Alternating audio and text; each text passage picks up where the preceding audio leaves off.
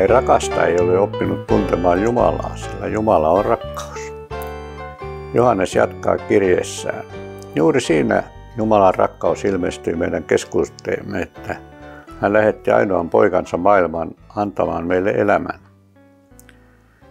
Jumala ei siis rakkaudessaan lähettänyt poikaansa antamaan meille rikkautta, rauhaa, mukavuutta, vaan iankaikkisen elämän. Jumala on rakkaus. Tämä on keskeinen sanoma raamatussa. Monelle meistä tämä ei kuitenkaan näytä olevan uskottavaa. Miksi on sotia, miksi on koronaa, miksi ja miksi. Luetaan ajatuksella toisesta aikakirjasta Jumalan sanat Salomolle.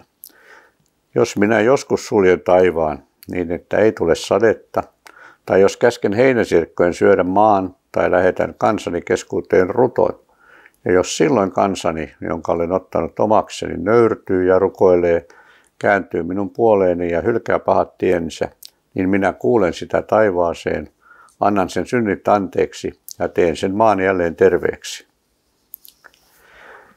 Israelin vaiheita on kuvattu raamatussa hyvinkin suorasukaisesti. Näyttää olevan niin, että aina kun kansalla meni hyvin, se unohti Jumalansa. Ahdistuksen aikana kansa nöyrtyi ja etsi Jumalan tahtoa. Eikö tämä tunnu aika tutulta meidän suomalaistenkin kokemusten perusteella? Sodan aikana etsittiin Jumalaa ja kun elintaso on alkanut nousta, Jumala on unohtunut tai Jumalan sana on jäänyt toiselle tai kolmannelle sijalle. Mutta päästyäsi lihaville laitumille sait syödä kylliksesi. Kun tulit kylläiseksi, sinun sydämesi ylpistyi ja sinä unohdit minut. Noin kävi Israelille ja noin on käynyt meille. Raamattu asettaa erityisen vastuun kansan kohtalosta sen johtajille sekä maallisille että hengellisille johtajille. Uskon, että sama vastuu on myös kaikilla mediavaikuttajilla. Jeesus varoitti meitä kaikkia, mutta joka viettelee yhden näistä pienistä, jotka uskovat minuun, sen olisi parempi, että myllynkivi ripustettaisiin hänen kaulansa ja hänet upotettaisiin meren syvyksiin. Hosea muistutti aikoinaan israelilaisia ilman korulauseita.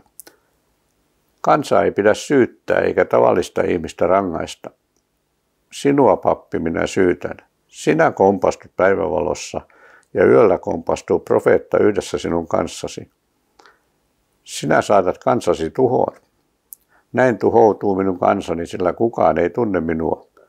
Koska sinä olet hyljännyt minut, hylkään minäkin sinut et saa enää olla pappina. Sinä olet unohtanut Jumalasi lain, minäkin unohdan sinun lapsesi.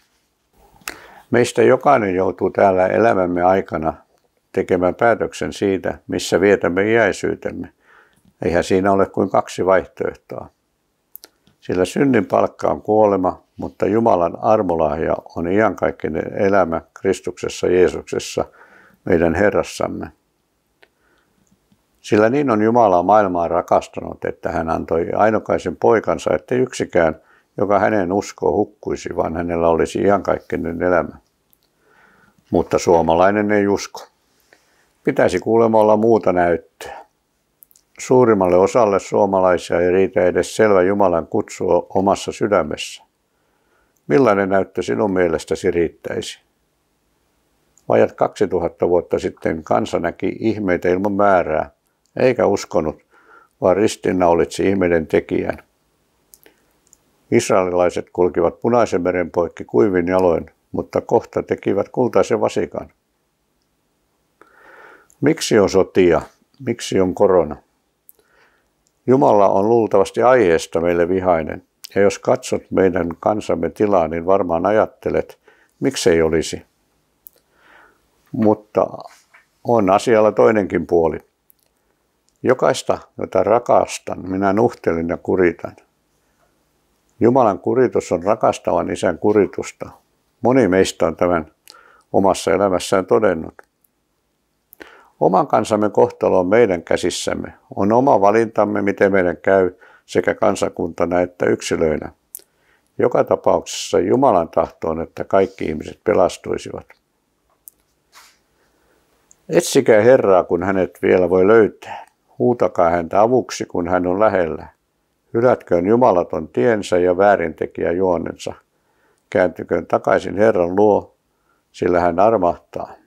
Turvautukoon Jumalaan, sillä hänen anteeksiantonsa on runsas. Salomo sai Jumalalta lupauksen ja uskon sen koskevan meitäkin. Kuunnellaan se vielä kerran.